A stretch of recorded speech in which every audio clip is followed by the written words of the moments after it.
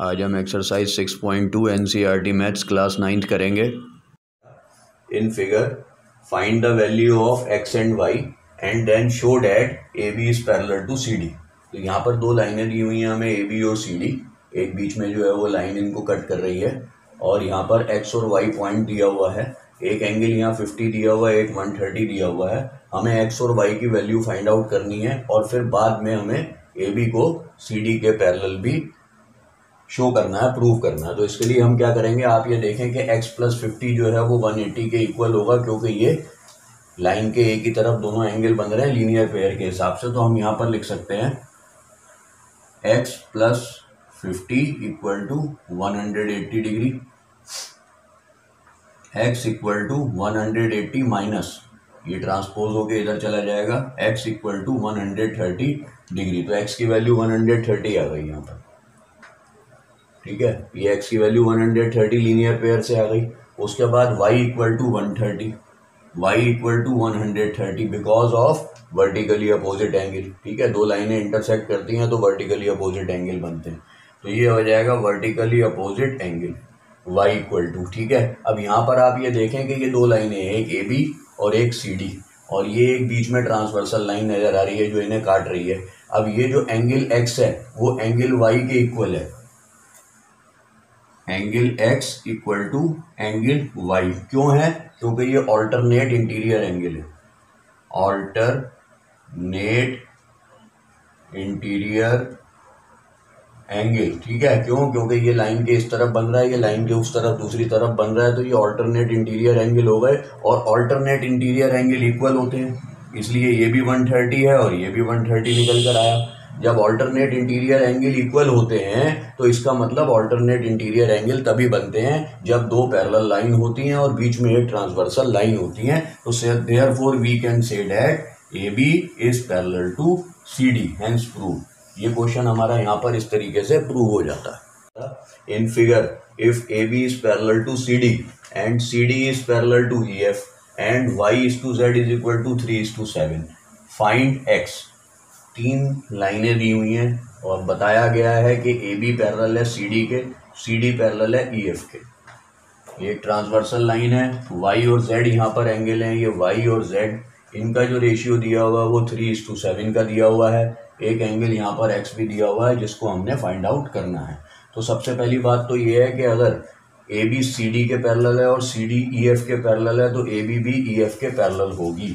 तो हम ये लिख सकते हैं कि A B parallel to C D parallel to E F ठीक है? ये हमारा एक थ्योरम है थ्योरम सिक्स पॉइंट सिक्स कि अगर कोई भी जो है वो कॉमन लाइन होती है और एक लाइन के पैरेलल दूसरी लाइन होती है तो वो तीसरी लाइन के भी पैरेलल मानी जाती है, ठीक है ना? तो A B parallel to C D parallel to E F जब ये तीनों पैरेलल हो गई, ये ट्रांसवर्सल लाइन हो गई तो हम ये कह सकते हैं कि angle x equal to angle z angle x जो है वो एंगल जेड के इक्वल होगा, क्योंकि ये ट्रांसवर्सल लाइन है, ये पैरेलल लाइन है, ये ऑल्टरनेट इंटीरियर एंगल होगा।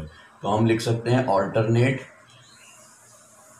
इंटीरियर और यहाँ पर एंगल ठीक है? Angle x equal to angle z और एंगल एक्स और वाई ये को इंटीरियर एंगल हो जाएँगे। दो पैरेलल साइड के जो एक तरफ़ के एंगल होते हैं अंदर के, वो को इंटीरियर एंगल कहलाते हैं। तो angle x plus angle y equal to 180 degree क्योंकि को इंटीरियर एंगल का सम जो है वो 180 होता है, यहाँ लिख देंगे को इंटीरियर एंगल ठीक है? अब यहाँ पर जो है वो सबसे पहली बात ये है कि हमें y इस टू जेड का ratio three is to seven दिया हुआ है। इसका कॉमन रेशियो जो है वो हम a ले लेंगे तो हम y को जो है वो थ्री ए लिख सकते हैं और हम z को जो है वो सेवन ए लिख सकते हैं। कॉमन रेशियो ए लेने के बाद, ठीक है? ये फिक्स वैल्यू नहीं है, ये खाली रेशियो दिए हुए हैं। अब यहाँ पर आप ये देखें कि x plus y equal to one eighty है, क्योंकि ये को इंटीरियर एंगल है, ठीक है? और x जो है, वो z के इक्वल है। अब अगर x z के इक्वल है तो मैं x की जगह पर z लिख सकता हूँ। अगर लिख सकता हूँ तो कैसे लिखेंगे?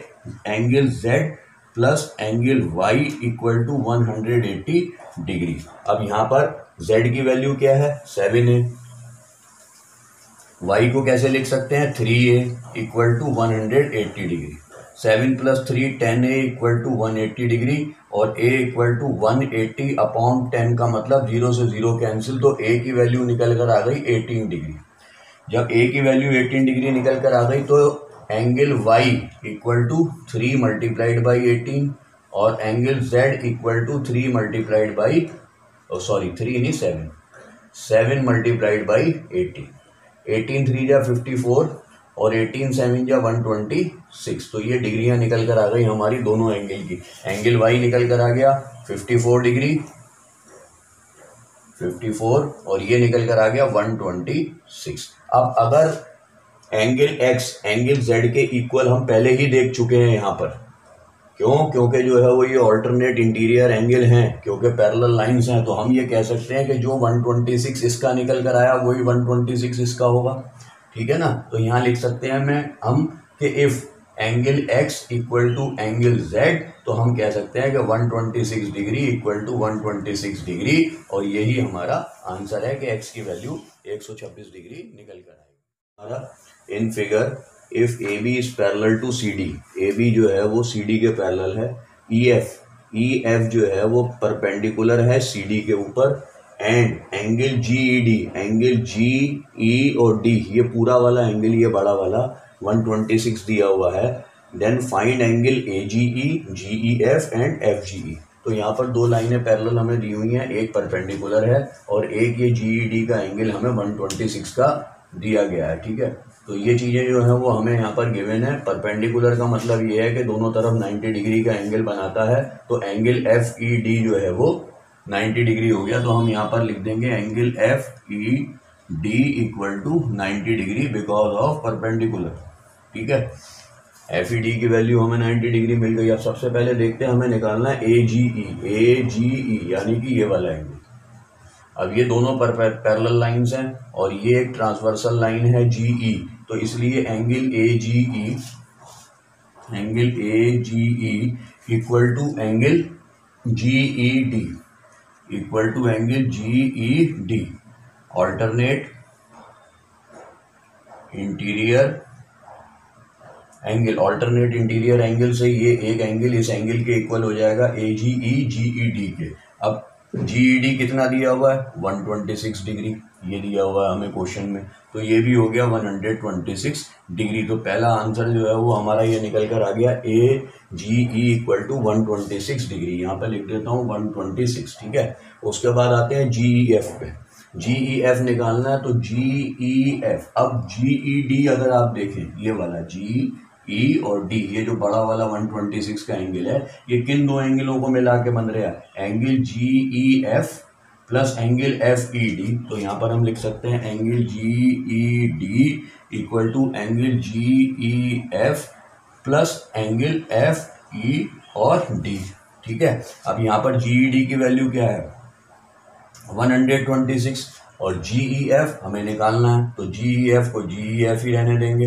प्लस एफ़ ई डी क्या है यहाँ पर? परपेंडिकुलर की वजह से 90 डिग्री अब एंगल जी ई एफ़ तो इधर ही रहेगा 90 इधर चला जाएगा तो 126 में से 90 माइनस कर देंगे तो 36 डिग्री निकल कर आ जाएगा एंगल जी ई एफ़ तो ये आ गया हमारा 30 डिग्री यहाँ 30 लिख देता हूँ.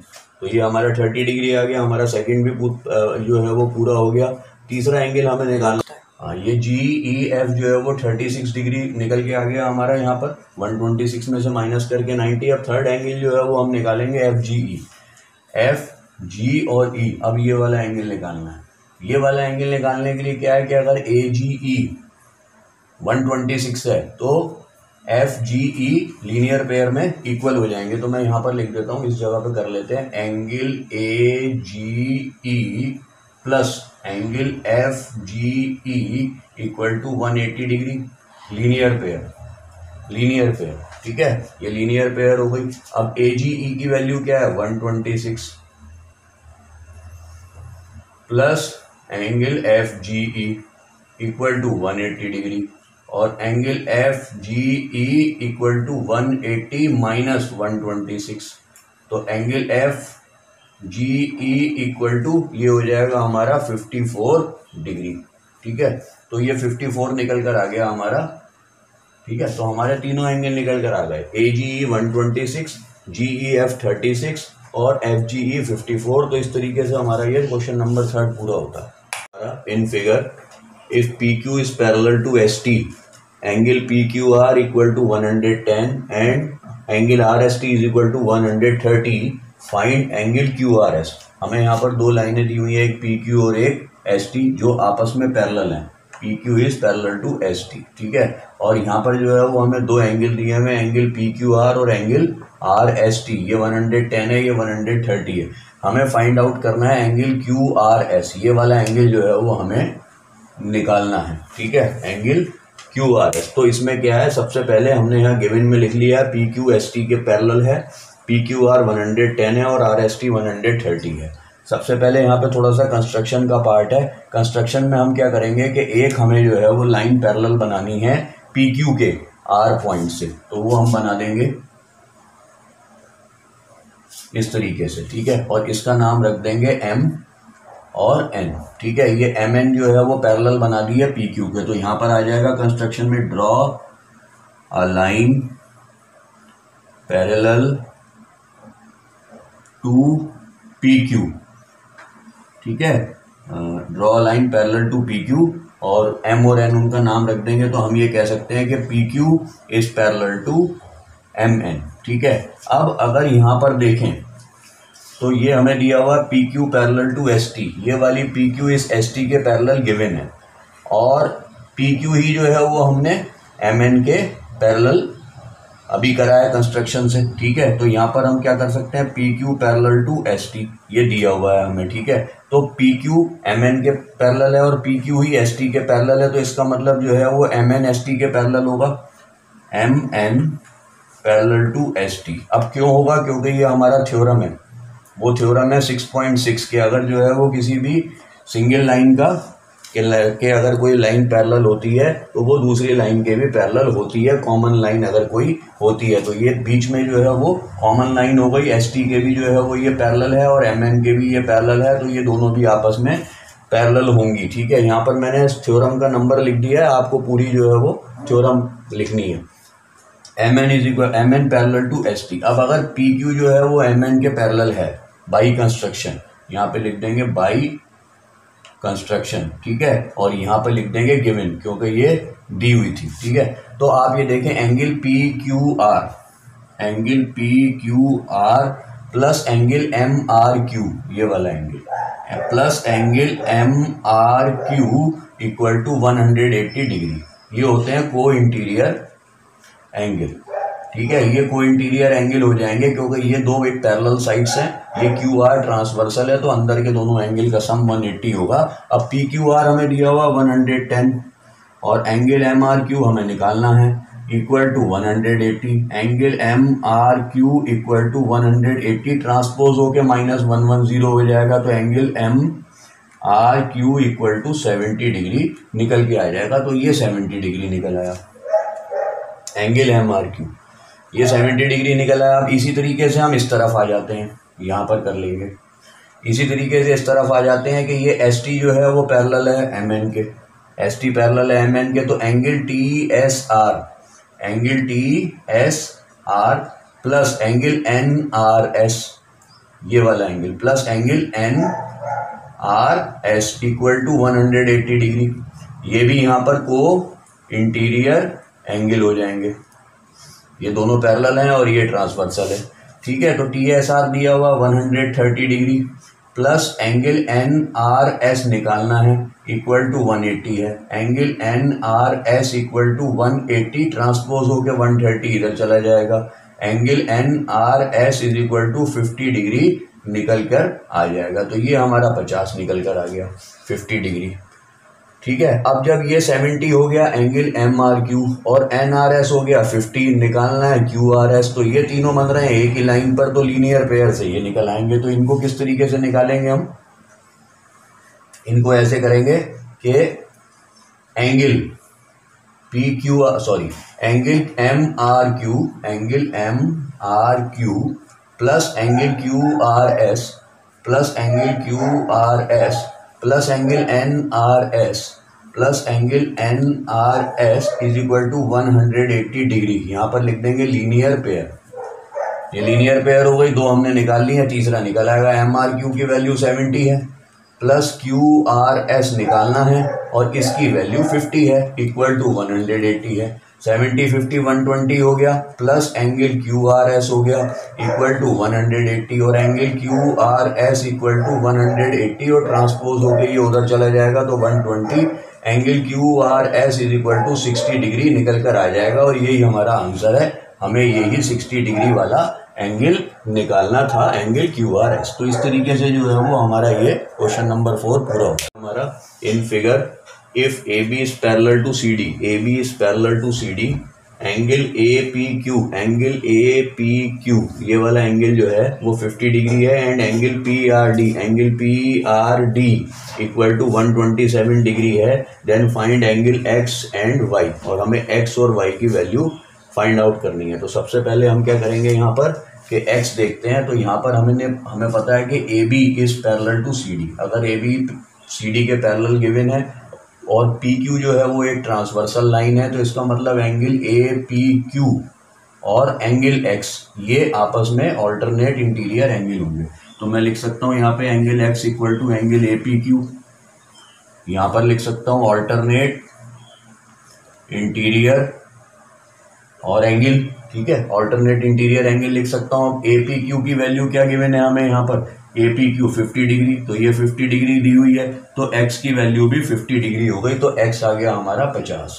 ये फिफ्टी डिग्री निकल कर आ गया। अब इसी तरीके से अगर ए बी पैरल दी हुई है सी डी के तो पी आर जो है वो ट्रांसवर्सल लाइन है।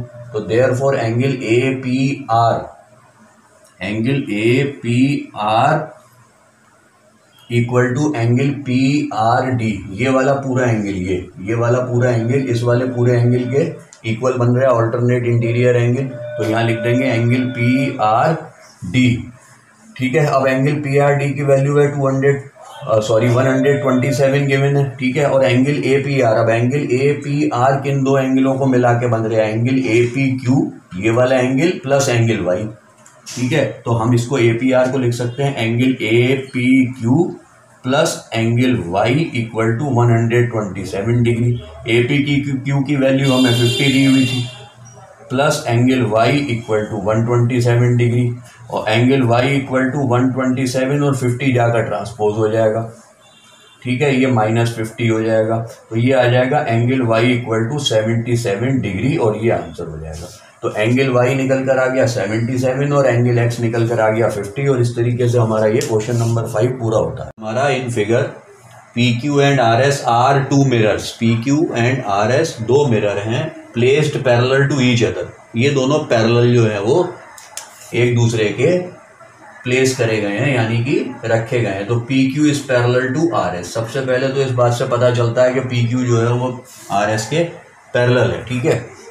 एन इंसिडेंट रे एक incident ray A B strikes the mirror P Q P Q को स्ट्राइक करती है और बी सी के पाथ पर चल के यहाँ आर एस को जो है वो सी पे स्ट्राइक करती है और फिर जो है वो सी डी के पाथ पर चल पड़ती है रिफ्लेक्ट होने के बाद। तो प्रूव करना है कि A B is parallel to C D ये दोनों हमने करना तो सबसे पहले यहाँ पर गिवन में तो हो गया P Q P Q parallel to R S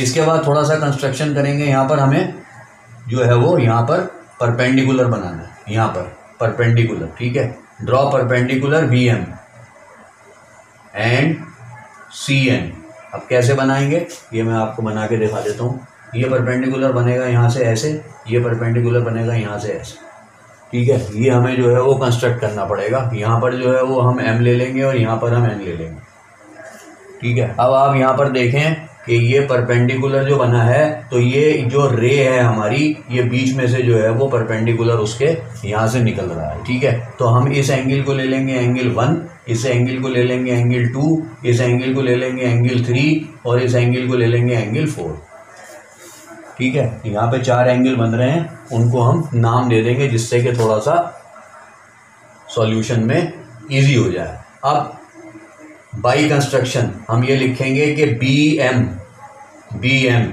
is parallel to C N B M parallel to C M C N by construction by construction ये दोनों आपस में पैरेलल हैं बी एम बी और सी एन बी क्यों? By construction और दूसरी बात इसके अंदर ये है कि perpendicular drawn on parallel lines perpendicular drawn on on parallel lines are always equal ठीक है? ये एक थ्योरम है, जिसमें ये कहा गया है कि पैरेलल लाइंस पे जितने भी आप परपेंडिकुलर गिराओगे, वो आपस में पैरेलल ही गिरेंगे और माने जाएँगे। तो उसके बिहाफ पर जो है, वो हम ये बी एम को सी एन के पैरेलल प्रूफ कर देंगे और हमने कर दिया। इसके बाद अब आप ये देखें कि यहाँ पर एंगल बन रहा है एम बी और सी डेयर फोर यहाँ से शुरू कर दूँगा। Therefore angle B sorry B नहीं है। Angle M B C, M B और C, equal to angle N C और बी, एन सी और बी, ठीक है? यानी कि ये वाला एंगल टू जो है, इस वाले एंगल थ्री के इक्वल हो जाएगा। Angle two equal to angle three.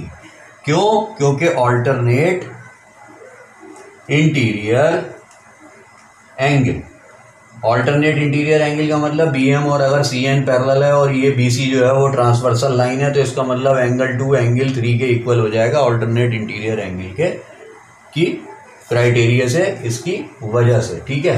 तो हमें क्या करना है यहाँ पर कि अगर एंगल टू जो है वो एंगल थ्री के इक्वल है है ना? तो यहाँ पर एंगल वन जो है वो एंगल टू के इक्वल होगा और एंगल थ्री एंगल फोर के इक्वल होगा। अब वो कैसे होगा? पहले मैं यहाँ लिख देता हूँ आपके लिए कि angle one equal to angle two कैसे होगा?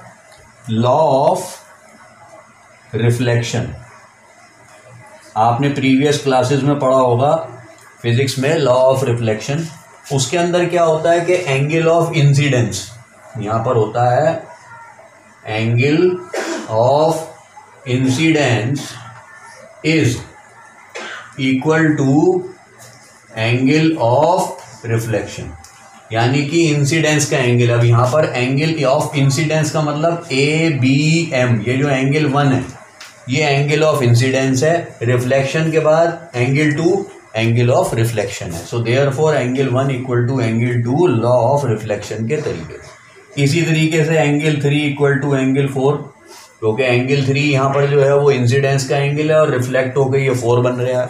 तो angle three equal to angle four same law of reflection angle of incidence is equal to angle of reflection अब आप ये देखेंगे जब टू मैंने थ्री के इक्वल कर दिया ऑल्टरनेट इंटीरियर एंगल और वन जो है वो टू के इक्वल है। तो अगर टू अगर टू एंगल टू थ्री के इक्वल है, और एंगल वन टू के इक्वल है, ठीक है? तो इसका मतलब क्या हुआ? कि angle one equal to angle three अगर एंगल वन टू के इक्वल है और टू थ्री के इक्वल है तो एंगल वन थ्री के इक्वल हो गया। और अगर एंगल थ्री के इक्वल वन हो गया तो एंगल थ्री फोर के इक्वल है। ठीक है? तो इस तरीके से हम यहाँ पर ये कह सकते हैं। अगर हम सीधा सीधा लिख दें कि angle one equal to angle two equal to angle three equal to angle four ये चारों एंगल जो है, वो इस तरीके से इक्वल हो गए। क्योंकि वन टू के इक्वल है टू थ्री के इक्वल है और थ्री फोर के इक्वल है तो therefore we can say that angle one equal to angle two equal to angle three equal to angle four अब ये चारों हमने कर दिए एक दूसरे के इक्वल ठीक है? अब यहाँ पर क्या था कि एंगल टू था एंगल थ्री के इक्वल ये चारों के चारों इक्वल हमने प्रूव कर दिए. अब आप ये बताएँ कि एंगल वन और टू मिला के कौन सा एंगल बन रहा है? एंगल ए बी सी इसकी जगह पे लिख देंगे एंगल ए बी सी इन दो को हम देखें तो एंगल ए बी सी बन गया है, ये पूरा। और ये क्या बन रहा है? थ्री और फोर मिला के एंगल बी सी डी इसकी जगह पर हम लिख दें angle B C D three और फोर की जगह पर। तो एंगल ए बी सी और angle B C D prove हो गया। ये कौन से एंगल होगा? ये होगा ऑल्टरनेट इंटीरियर एंगल ये ऑल्टरनेट इंटीरियर एंगल हो गए अब अगर ये ऑल्टरनेट इंटीरियर एंगल हो गए और दोनों इक्वल हो गए तो ऑल्टरनेट इंटीरियर एंगल तभी बनते हैं। नहीं समझे, जब कोई लाइन साइड्स पैरेलल होती है, यानी कि अगर ए बी जो है वो सी डी के पैरेलल है और ये ट्रांसवर्सल लाइन है।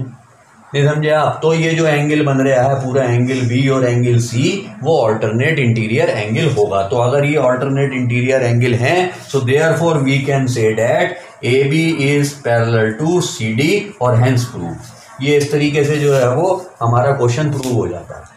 फिर से बता देता हूँ आपको एक बार, दो मिरर थे एंगल ऑफ़ इंसिडेंस वन बन रहा है, एंगल ऑफ़ रिफ्लेक्शन टू बन रहा है। ये लॉ ऑफ़ रिफ्लेक्शन के हिसाब से दोनों इक्वल होते हैं। इसी तरीके से ये इंसिडेंस है, ये रिफ्लेक्शन है, ये दोनों इक्वल हैं। यहाँ पर हमने दो परपेंडिकुलर ड्रॉ करे हैं, वो पैरेलल होते हैं। अगर हम पैरेलल लाइंस के बीच में ड्रॉ करते हैं तो इनके पैरेलल होने की वजह से एंगल टू एंगल थ्री के इक्वल था। एंगल वन, टू के इक्वल था, टू थ्री के इक्वल था तो वन थ्री के इक्वल हो गया। थ्री फोर के इक्वल था तो टू फोर के इक्वल हो गया, वन फोर के इक्वल हो गया। यानी कि ये चारों एंगल हमने इक्वल प्रूफ कर दिए। चारों एंगल प्रूफ कर दिए तो दो एंगल बना रहे हैं, एंगल बी यानी कि ए बी सी एक एंगल बना रहा है ये बी सी डी ये वाला, दो मिलके, और दो ये मिलके बना रहे हैं। जब ये पूरा बी और ये पूरा सी आपस में इक्वल प्रूव हो गए और ये एक ट्रांसवर्सल लाइन हो गई तो ए भी पैरेलल हो गई सी डी के और यही हमने प्रूव करना था। तो इस तरीके से हमारा ये क्वेश्चन सिक्स पूरा होता। है आपको हमारी ये वीडियो अच्छी लगी हो तो आप हमारे चैनल को सब्सक्राइब करें वीडियो को लाइक करें। Thank you